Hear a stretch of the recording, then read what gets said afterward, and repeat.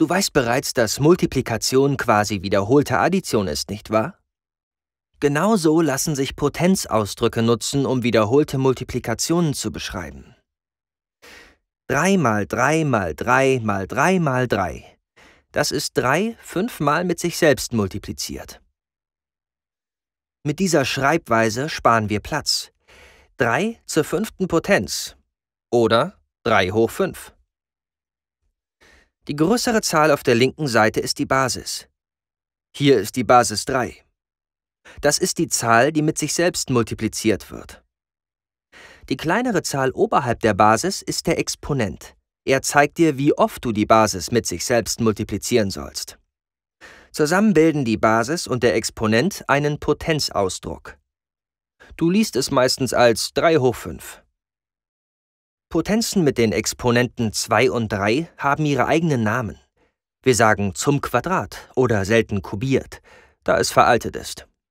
Also 4 Quadrat oder 5 hoch 3. Dies ergibt sich aus der Geometrie.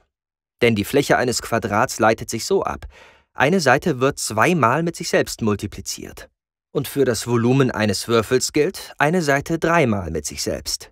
Quadrat und, wenn auch veraltet, kubieren englisch Cube für Würfel, drücken genau das aus. Ein Potenzausdruck bedeutet immer dasselbe. a hoch n bedeutet, a wird n mal mit sich selbst multipliziert. a hoch n ist also völlig verschieden von a mal n. Leon hat den Zahlencode für sein Fahrradschloss vergessen. Für jede der drei Zahlen zwischen 0 und 9 gibt es also zehn verschiedene Alternativen. Wie viele verschiedene Zahlenkombinationen muss Leon maximal probieren? Du kannst dieses Problem als Potenzform schreiben. Für jede der drei Ziffern hat Leon 10 Alternativen. Also 10 mal 10 mal 10 oder 10 hoch 3 ist gleich 1000. Es gibt 1000 verschiedene mögliche Kombinationen für Leons Schloss. Maria hat sich 500 Euro geliehen, um ein Fahrrad zu kaufen. Sie zahlt 5% Zinsen pro Jahr. Wenn sie fünf Jahre lang kein Geld zurückzahlt, wie hoch sind dann ihre Schulden? Nach einem Jahr sind ihre Schulden auf den ursprünglichen Betrag mal 1,05 angewachsen. Und für jedes weitere Jahr wird der geschuldete Betrag einschließlich der Zinsen mit 1,05 multipliziert. 1,05 fünfmal mit sich selbst multipliziert ist das gleiche wie 1,05 hoch 5.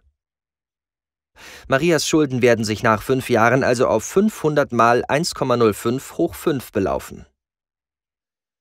Um die Schulden komplett abzubezahlen, muss Maria nun 638,14 Euro aufbringen.